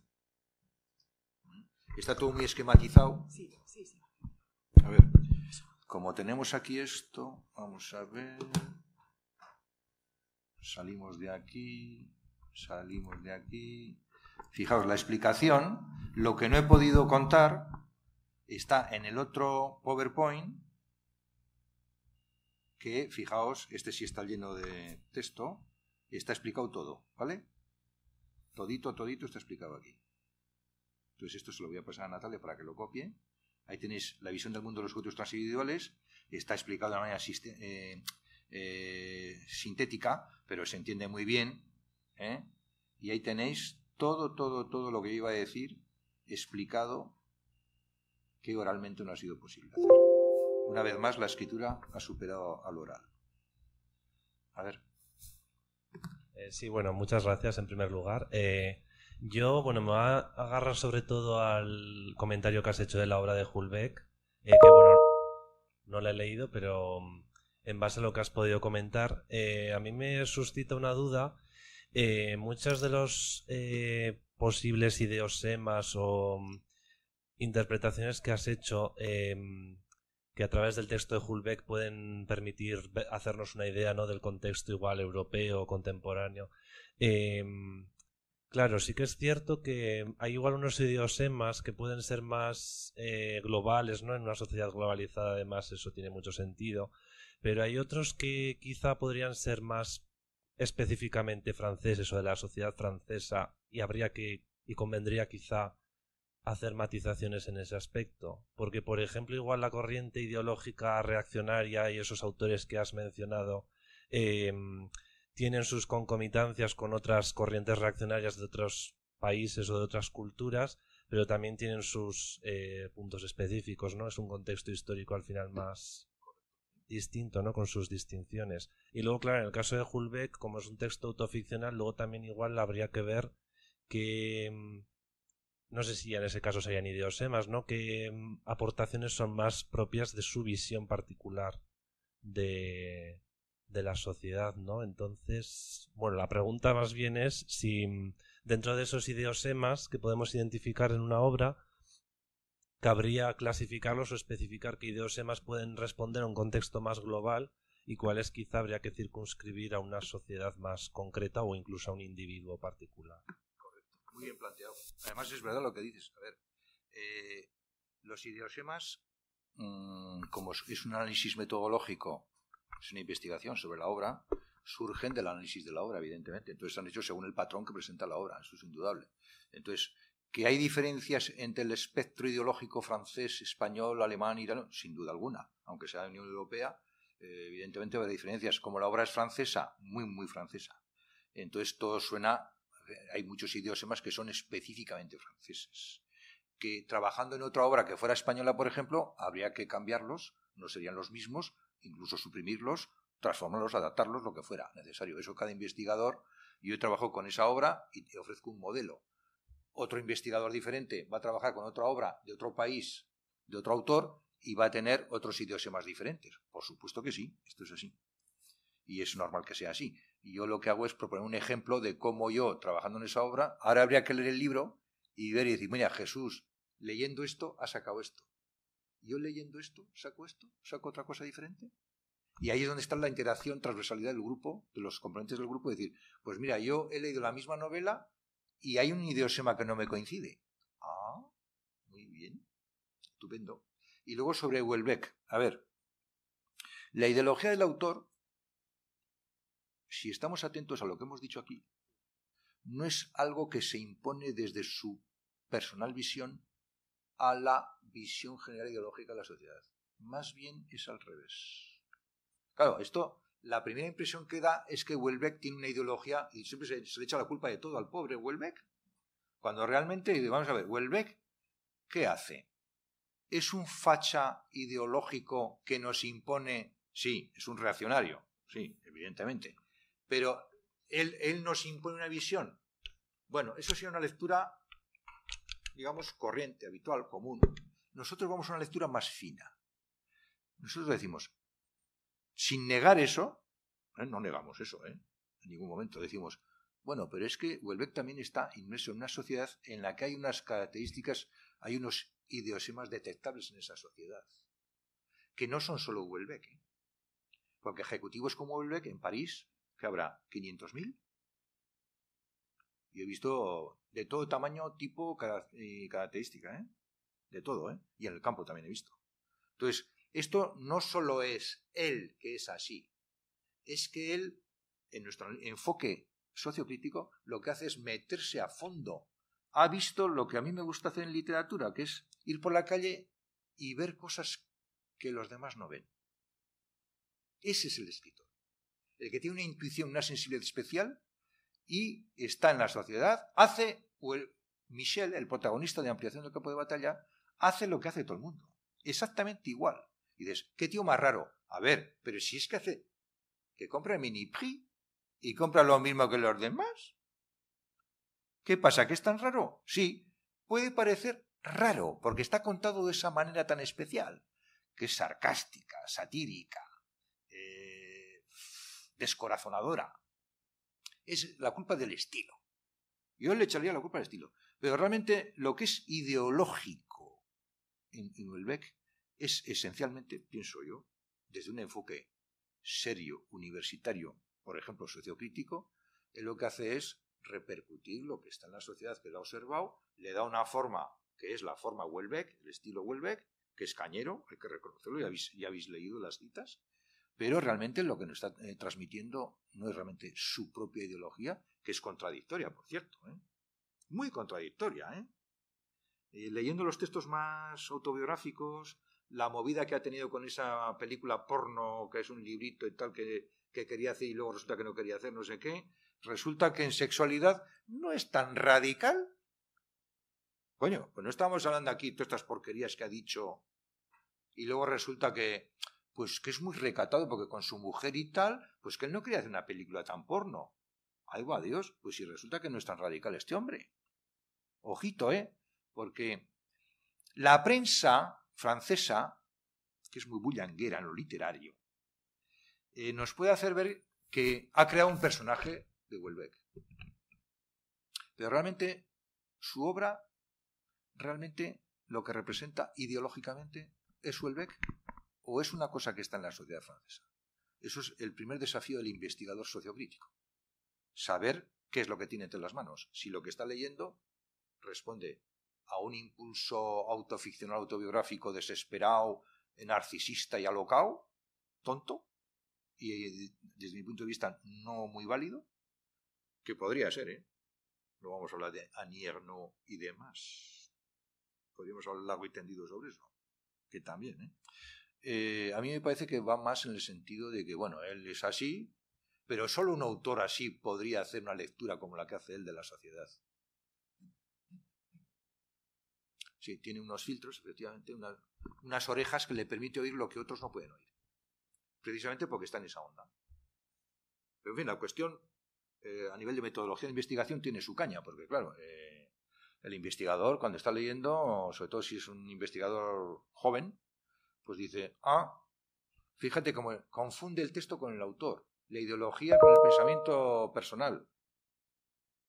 Eso viene un poco de la malformación que hemos tenido nosotros en las etapas anteriores del sistema educativo, que el profesor nos preguntaba en clase, ¿y cuál es eh, la visión que da el autor en la obra de este personaje? A ver, eso es una pregunta que está mal planteada. Yo recuerdo a aquellos malos profesores, espero que los profesores de ahora sean mejores que los de antes. Sí, Juanjo, sí, tienen, tienen que serlo. Sí. Porque eso no es una pregunta. Eso no esa pregunta no se hace. tenemos otros planteamientos como este que son más complejos, más elaborados. Hemos estudiado más. Hombre, por favor.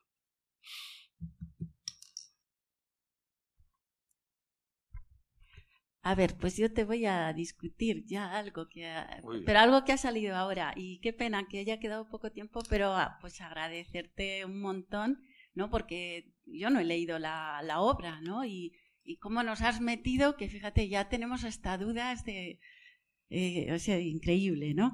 Em, pero eh, vamos, lo comparto con todos, ¿no? Esto de los idiosemas, que, que, me atrae. Hay una mentalidad científica en mí, estructuralista también en algún lado. Fíjate, yo creo que sí que deberían coincidir los que encontremos. Creo que deberían coincidir los idiosemas de una obra, igual que los semas de una palabra. ¿En qué creo que podemos distinguir luego? ¿En qué hacemos con ellos? Pero yo creo que todos deberíamos encontrar lo mismo y ir descartando si alguien ha encontrado algo que a lo mejor no existe. Bueno, eso es una de las cosas que planteo. Para eso está el laboratorio, el taller de investigación del grupo, en el que se, haría una sincronía de las lecturas diferentes de los idiosemas. Pero sí debe, ¿no? Trabajo de grupo. debería, claro, el trabajo de grupo pues siempre ¿Sería deseable? siempre es fundamental, ¿no? Bueno, pues eso e, era lo que iba a comentar y a raíz de idiosemas que has dicho por ahí, eh, de cosas que, o sea, yo creo que lo que luego quedaría abierta esa, esa diferencia, ¿no? Es en lo que hagamos con ellos, ¿no?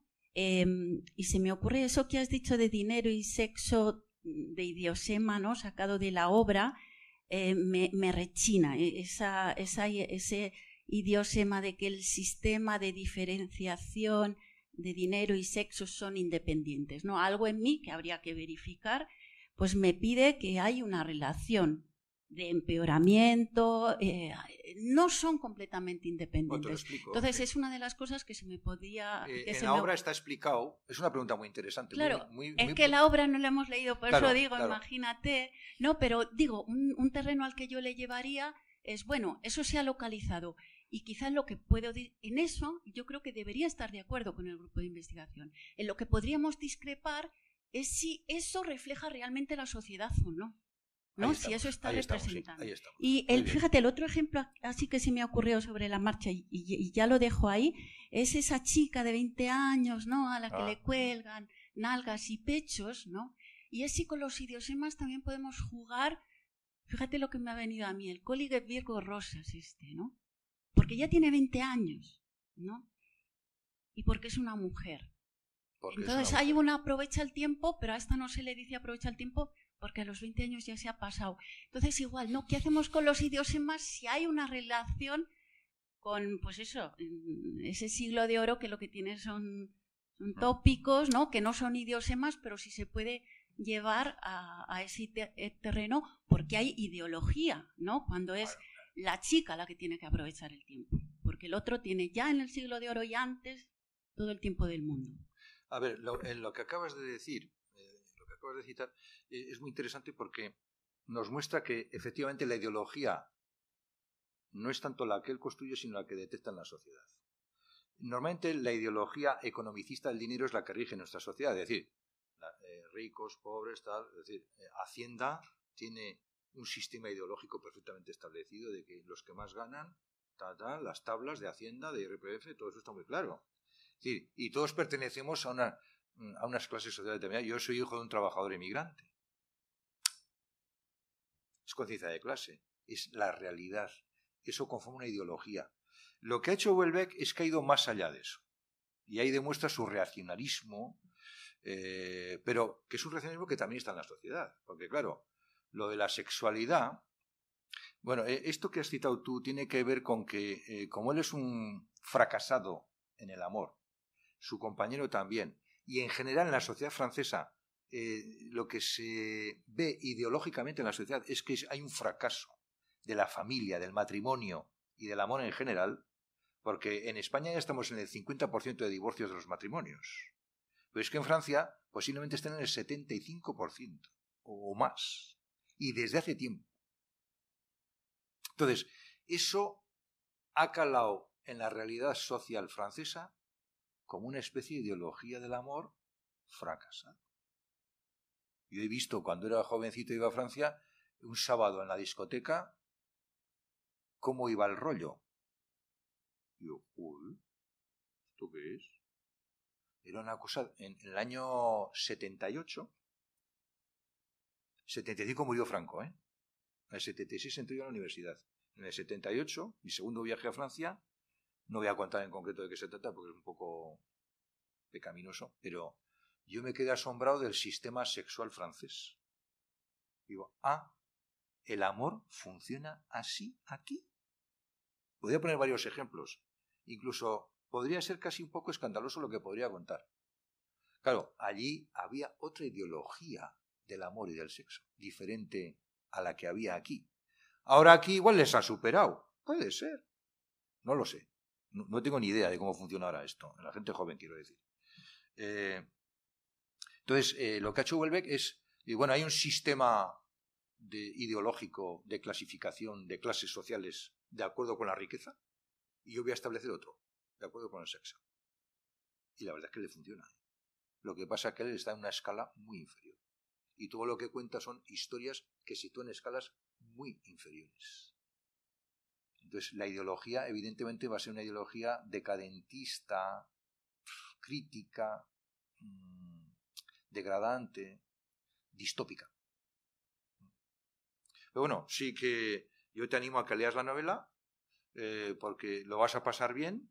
Eh, es un mundo muy diferente eh, posiblemente al que conoces y, te va a meter en una realidad ideológica que dices, joder, ostras, ¿esto qué es? ¿no? No te digo que leas su misión del 2015, cuando el presidente de la República Francesa es un islamista y cuenta la historia de un profesor de universidad de la Sorbona, que bueno, eso para los profesores es muy recomendable. Porque, en fin, nos pone una tesitura muy realista, por cierto.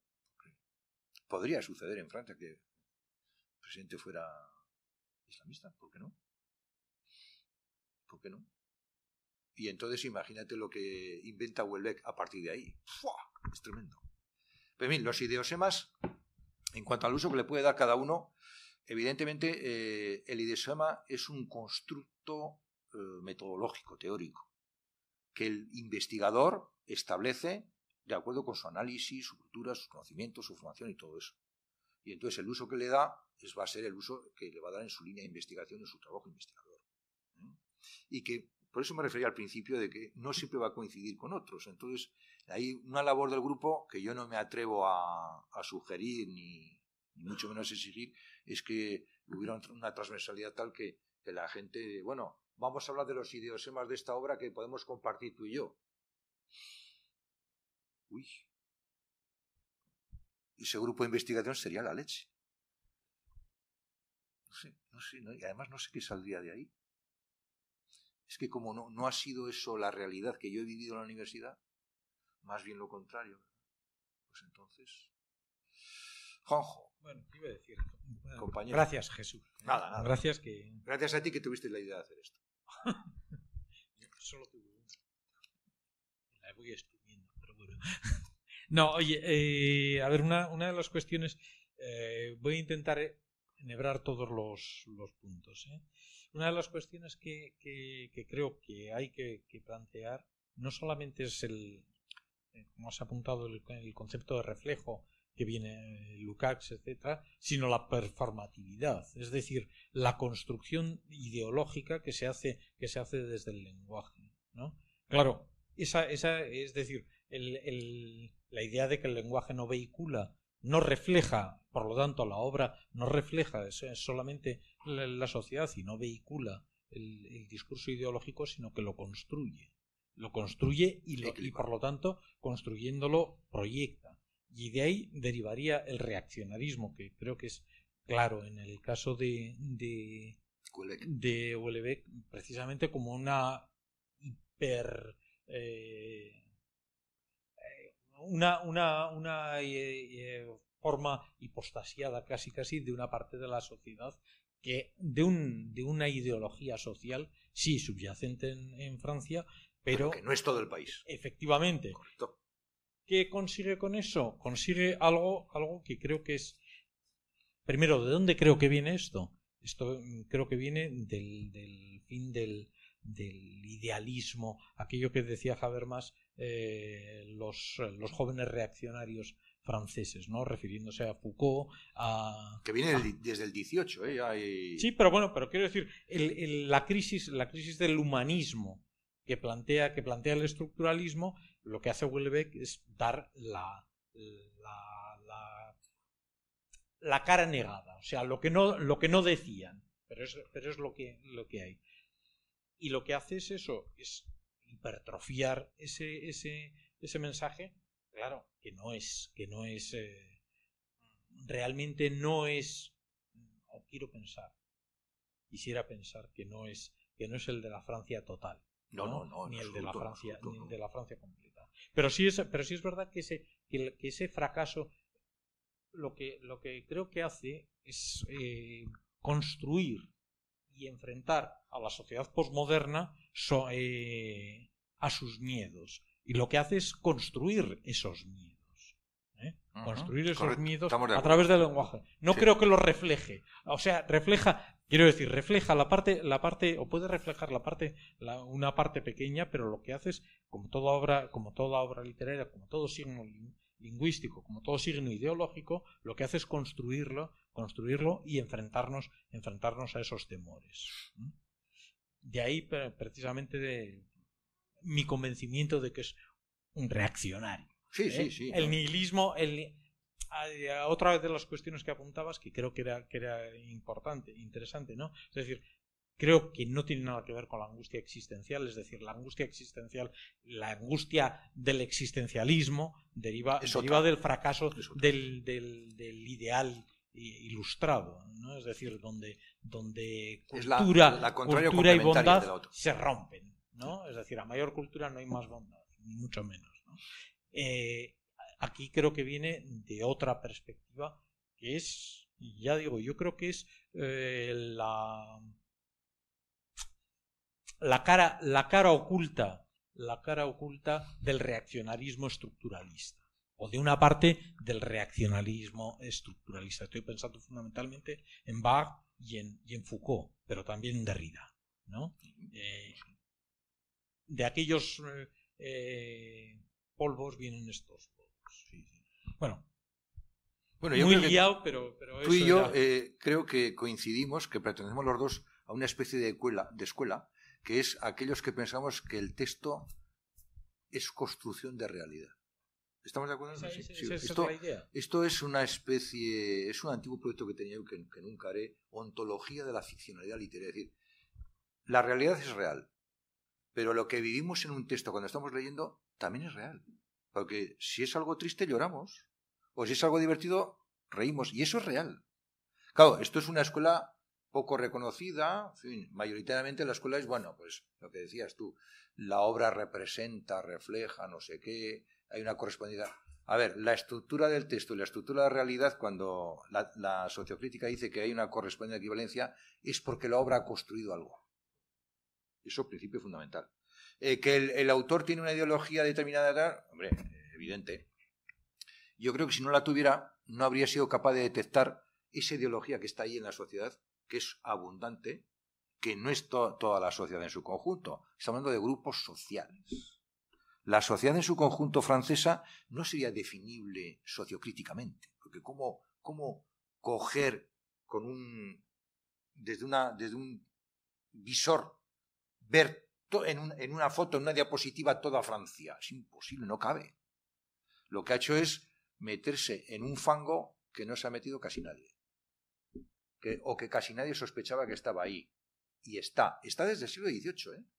En el número este del Magazine littéraire sobre la déchirure aparece gente. Hay eh, Sem Stengel, de origen judío, por cierto, eh, ha hecho un volumen, los, están los antimodernos de Antoine Compagnon y luego los antiilustrados de Stengel.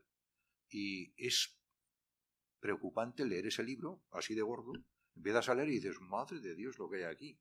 Pero desde el siglo XVIII es evidente que en el momento, tú te refieres a la Revolución, en 1789, Robespierre, Danton, Montesquieu, eh, Rousseau, estaban, Rousseau desde 1762, estaban convencidos del tema este. Pero había mucha gente que no.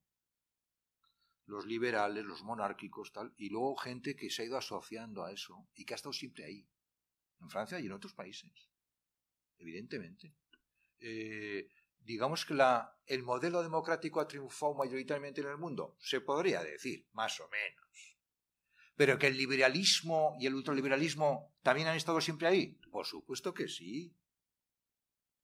A ver, en Francia, el Estado se declaró laico en 1791-92. Las iglesias, los curas, yo siempre he conocido curas en Francia. Welbeck, bueno, el personaje de Welbeck va a misa del gallo el día Nochebuena. Yo cuando leí eso digo, oh, cuidado.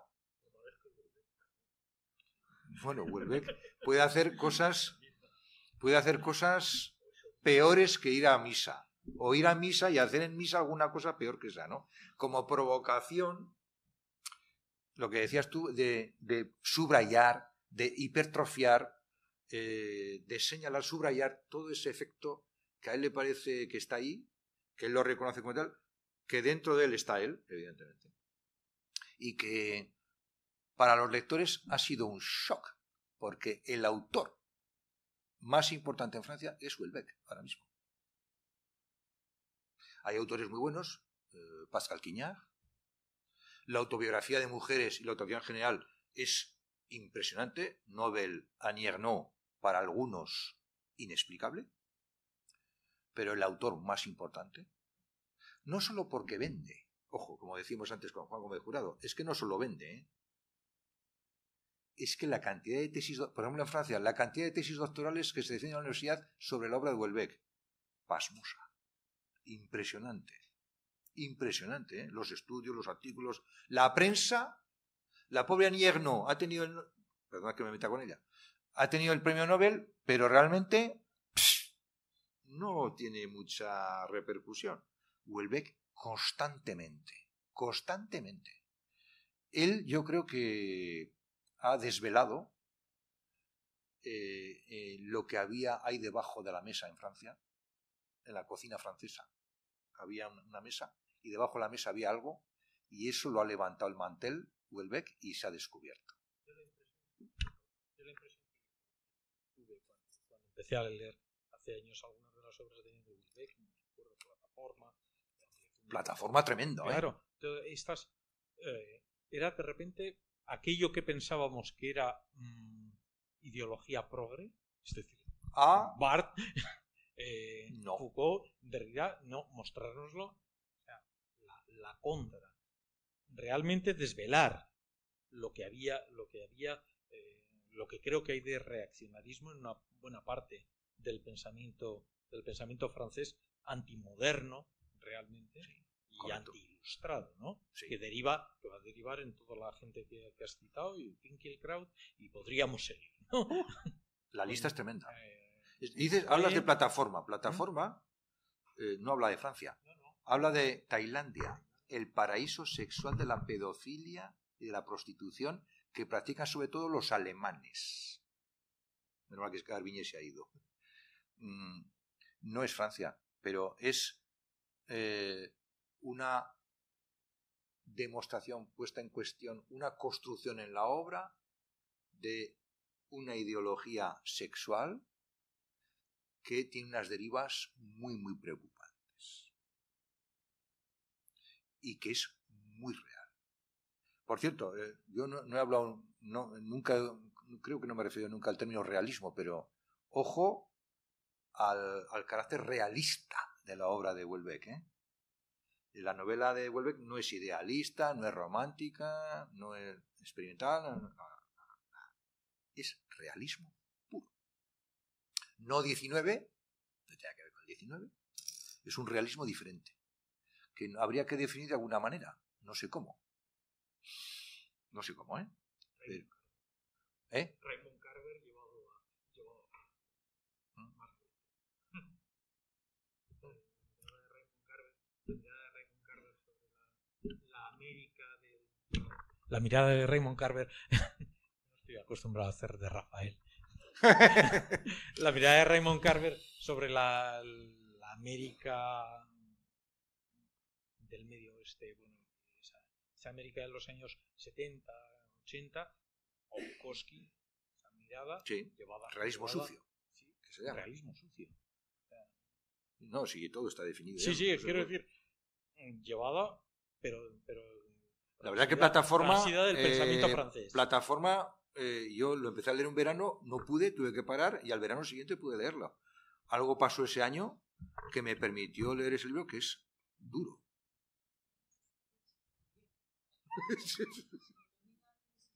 Serotonina te puede afectar si estás con depresión, en fin. Mm, Sumisión te puede afectar si es un republicano francés de estos que yo he conocido en el campo. Ese libro hizo mucho daño en Francia, mucho daño. Y no digo nada en la Sorbona, en las instituciones universitarias que en Francia son instituciones muy, muy elevadas, mucho más que aquí. Aquí somos muy bajitos. En Francia, ser profesor en la Sorbonne, yo he conocido a algunos, la verdad que es, bueno, insoportable. No digo más. Y, y todo eso cae, todo eso cae de alguna manera en ese realismo que practica.